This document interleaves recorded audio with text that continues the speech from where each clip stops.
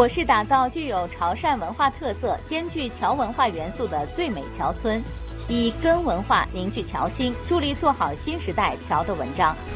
汕头大学深化产学研，国际首创开放式架构产品可适应设计方法，助力装备制造业增效降本，获得省科技奖二等奖。我市召开迎接全国和省级双优模范呈现中期考评动员部署会，强调要齐心协力打赢双拥模范城创建攻坚战。朝阳区落实落细各项防控措施，加强火车站出站关口把控，守好守牢外防输入关口。邮政部门量身定制海产品出岛进城运输方案，打造南澳渔民海产品销售绿色通道。观众朋友，晚上好！今天是四月十九号，星期二，农历三月十九。欢迎收看汕头新闻，请看详细报道。汕头因桥而立，因桥而兴。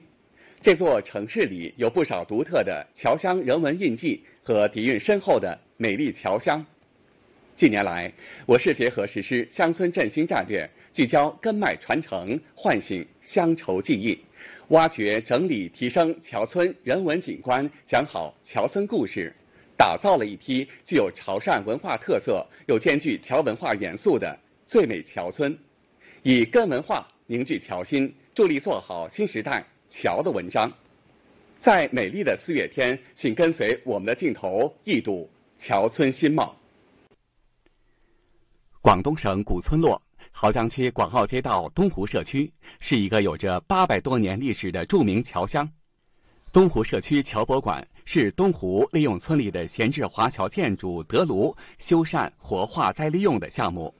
馆内的每件展物都诉说着动人心弦的华侨故事。一辈的华侨的侨坯，呃，它也是很代表我们这个老一辈很当时一个心酸的一个打拼史。对，赚了多少钱？都是把那些钱寄过来这边的人生活，呃，把我们这边的家乡的这个照看这个亲人吧。在当时这个情况，我们建这个博物馆的时候，有让大家记住啊乡愁，或者现在博物馆留下的这些旧东西，就是我们东湖村啊，这个都是几十年前留下来的遗产。东湖社区现有里外乡亲约一点三万人。几乎家家有番客，户户有侨亲，素有“番客村”之称。近年来，广大侨胞热心家乡建设，捐资约六亿元兴建学校、牌坊、环村路、文化广场等一批项目。如今漫步东湖社区，随处可见古榕、古巷、古碑以及中西结合的特色建筑，侨味浓郁，古风新韵扑面而来。我长这么大，这这是现在东湖的变化最大。我们身为这个东湖人的，都都感到非常欣慰。美丽桥村焕发着新时代风貌，东湖社区将突出做好桥文章，推进社区旅游经济发展，打造集文商旅为一体的全新东湖，打造最美侨村，推动乡村振兴。依托我依托我们古村及侨乡的优势。按照一新一街五区的目标来规划，让华侨乡环境更美，侨乡文化更美，华侨乡情更美。澄海区张林古港是一八六零年汕头开埠前的粤东第一大港，中国古代海上丝绸之路重要节点，是红头船精神的发源地。在张林古港，清代建筑永定楼已建成侨批展览馆。向世人讲述华侨与祖国的故事。我们这个侨批展览馆已经收集到，就是从潮汕地区入一个易化祥批级的牌匾，同时呢，还有就是最长的一红球批，一点五米长的。近年来，东里镇以和美侨乡文化振兴为主题，保育活化张林古港古驿道。打造海丝侨乡，把这个八街六市、丰宝庙、西塘、启用村公司这些景点串联起来，扩大我们整个张宁古港的这个文化跟旅游这个旅游圈，哦，向下延伸，就是对古港和这个科学历史向下延伸一人二公里，就是把张林古港传盛时期真正的古码头、陶冲古土尾古码头展示出来。尽管过这个考述、听考述、找资料、找这个文物，哦，把这些资料文物啊、这些歌谣啊，通通都收收集起来。东里镇还依托扎陵古港的自然禀赋和优势资源，以发展乡村旅游作为突破口，培育发展农村新产业新业态，推动历史文化遗址保护和乡村旅游、乡村产业融合发展。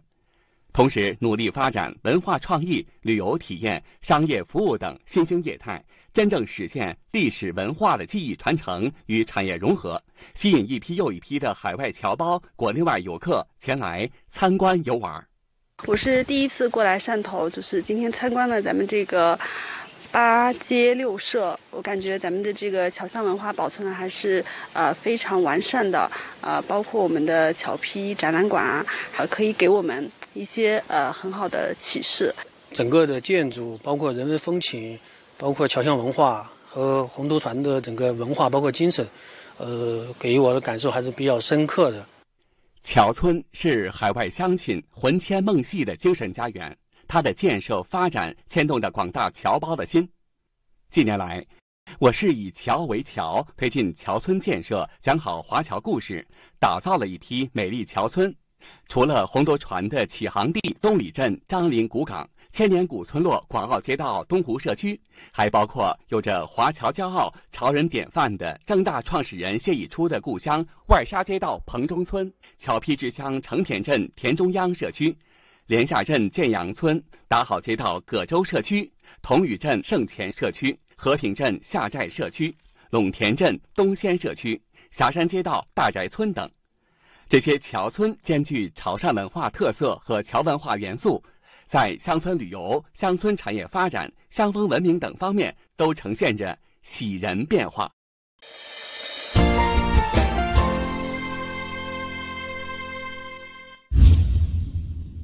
在近日召开的全省科技创新大会上，以汕头大学为第一完成单位的开放式架构产品可适应设计方法。及其在典型装备中的应用，获得二零二一年广东省科技奖二等奖。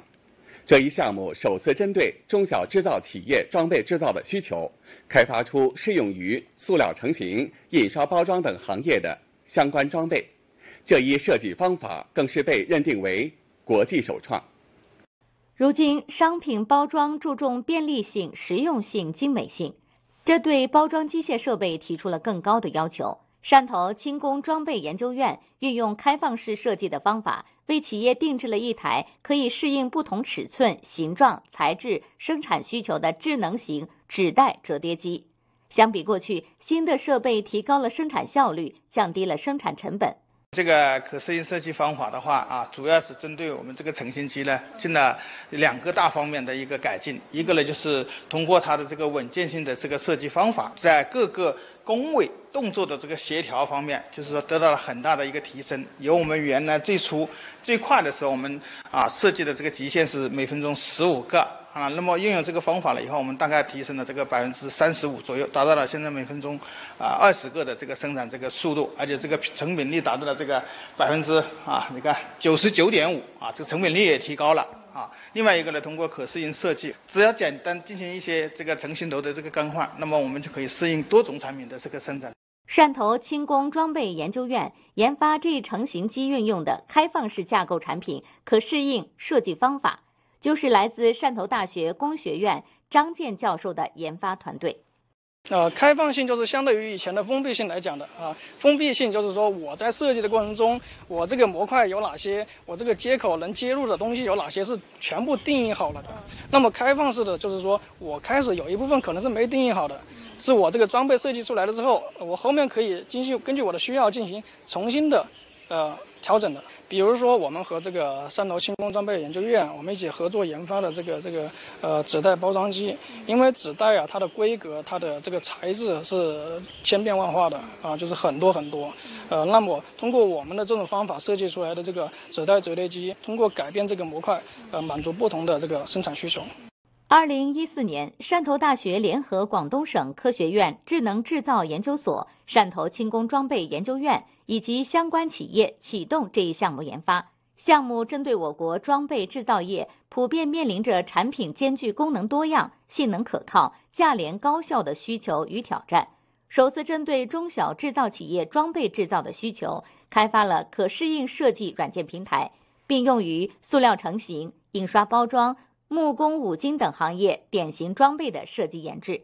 在原有生产加工环境与技术条件下，关键指标的可适应范围与性能品质均得到了显著提升，增强了相关装备的市场竞争力。我们这个项目主要有三个方面的这个难题吧。第一个就是呃，这个怎么样去设计这个开放式架构产品？其实上国内外都是没有人做的，也没有可供参考的资料，所以这个理论方面需要我们自己来攻克。啊，第二个呢就是呃，这个开放式架构产品你设计出来之后，我们要保证怎么样保证它的产品性能质量能够满足这个客户的需求啊。那么第三方面就是这个怎么样把这个技术能够推广到企业，然后提升他们装备制造的。这个技术水平，专家鉴定认为我们的可适应设计方法，开放式架构产品的可适应设计方法是属于国际首创。当前，我市正在全力构建三新两特一大产业发展格局，而作为汕头的高校研发力量，张健教授将继续带领团队立足汕头产业特点，开展技术攻关，服务产业提质升级，助力汕头走好工业立市、产业强势之路。汕头市现在的三新两特一大的这个一个规划，应该来讲，我们也可以很好的参与进去。呃，这个也是我们学校一直强调的产学研结合。今天上午，汕头市召开迎接全国和省级双拥模范呈现考评动员部署会，部署有关双拥创建工作，动员全市上下团结一致、齐心协力，全力打赢此次双拥模范城创建攻坚战。市领导张红俊、彭聪恩出席会议。自2020年我市第七次荣获全国双拥模范城称号以来，全市各级认真贯彻执行党中央、国务院、中央军委关于双拥工作的一系列指示和省委省政府、省军区的工作部署，广泛深入持久地开展双拥创建活动，全市双拥工作取得了良好成绩。根据全国双拥办的总体部署和省双拥办的工作安排，省双拥办将于今年五月组织对我市第十一届全国和省级双拥模范城县创建工作进行中期考评。会议指出，全国双拥模范城是军地共同颁发的唯一国家级城市品牌，是一项崇高的政治荣誉，是一个地方军政军民团结、社会和谐进步的重要标志。今年是党的二十大召开之年，也是我市全面提高双拥工作水平、奋力夺取全国双拥模范城八连冠的关键一年。全市上下要同心协力、齐抓共建，确保顺利通过第十一届双拥模范城县中期考评和明年的全国省双拥模范城检查验收工作。会议强调，要深刻领会双拥创建工作对汕头的重要意义。牢牢把握双拥创建目的，保持双拥创建工作常态，主动不断完善双拥创建协作机制。要站在政治和全局的高度，抓好双拥创建工作，始终把眼光聚焦在群众和官兵关注的热点难点上，进一步提升双拥工作的质量标准。要突出重点，进一步明确责任，细化任务，做到责任到人，全力推进双拥创建各项工作落实。为贯彻落实市委工作部署，助推工改工和三旧改造工作深入开展，今天上午，市人大常委会组织人大代表赴金平区、龙湖区、高新区，对我市工改工和三旧改造工作情况进行实地检查，了解项目进展和推进工改工过程中存在的问题。随后召开座谈会，市自然资源局等单位汇报工改工和三旧改造工作情况。市领导林希波、李钊参加活动。检查组强调，各级各部门要切实把思想和行动统一到市委的工作部署上来，把推进工改工作为新工业、强产业的有力抓手，保障工业用地，努力走出具有汕头特色的工改工路子。要广泛宣传发动，加强政策宣传，精准施策。工改工配套政策要有可操作性，加快工改工进程。检查组指出，要注重社会效益，注重解决历史遗留问题，加快推进三旧改造工作。各级各部门要按照省关于三旧改造的决策部署，紧紧围绕市委的中心任务，以工改工为主抓手，做好我市三旧改造工作，助推工业立市、产业强势。市十五届人大一次会议代表提出关于发挥侨力资源优势，助力汕头经济发展的建议。今天上午，市人大常委会副主任林曼带队督办建议办理情况。督办组实地查看了卜蜂莲花中旅店、华侨试验区海外华文教育直播基地，听取建议办理情况的汇报。当前，市委统战部、市侨务局紧紧围绕“根魂梦”工作主线，开展文化引侨、平台联侨、政策汇侨、经济聚侨四项行动，聚焦华侨华人新生代。发挥侨力资源优势，为汕头发展凝聚侨的力量。督办组要求各建议办理单位要积极回应代表关切，以办理好建议来推动工作开展。要加快建设侨情资源库，提升与侨交流精准度和为侨服务针对性。要大力弘扬潮汕优秀传统文化。要借助汕头申办第二十二届国际潮团联谊年会的契机。广泛联络海外乡亲，宣传引导广大华侨华人来汕投资兴业，用心用情做好新时代侨的文章。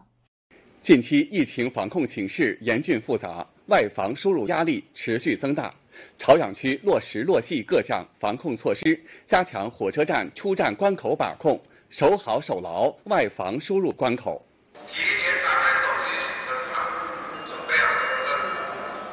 今天上午九点四十五分，一趟列车抵达朝阳高铁站。出站的旅客们在指引牌和广播的引导下，有序完成测体温、健康码、行程卡检查、核酸检测。非常快，差不多十来秒吧。到每一个地方的话，它都会有个有一轮核酸检测，这样就会比较安全嘛。根据防控工作要求，朝阳高铁站在落实百分之百戴口罩、百分之百查健康码、百分之百测体温。三个百分之百的基础上，还增加对出站旅客百分之百查行程码和百分之百落地核酸检测的防控措施。为提高旅客信息的查验效率，车站一方面增设测温仪、智能口罩机、身份证核检电脑等设备，另一方面优化流程，加大人员投入，对排查中可能遇到的异常情况，站点也准备了周全的应急预案。如果这个发现这个健康码异常的话呢，我们也是第一时间呢，把它引导到这个专用的留观室，啊，然后呢进行这个询问这个行程。如果发现是红码的话，我们第一时间报属地有关部门，然后呢通过卫健部门派幺二零救护车全程闭环管理，呃送到指定的酒店进行隔离。朝阳高铁站测温防疫卡口配套七台身份证核检电脑，每班有公安、交通、交警、卫健等部门的值班人员三十多人。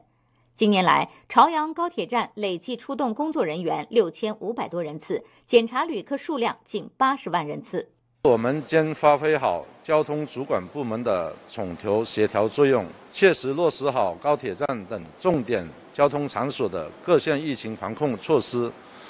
筑牢疫情防控的第一道防线，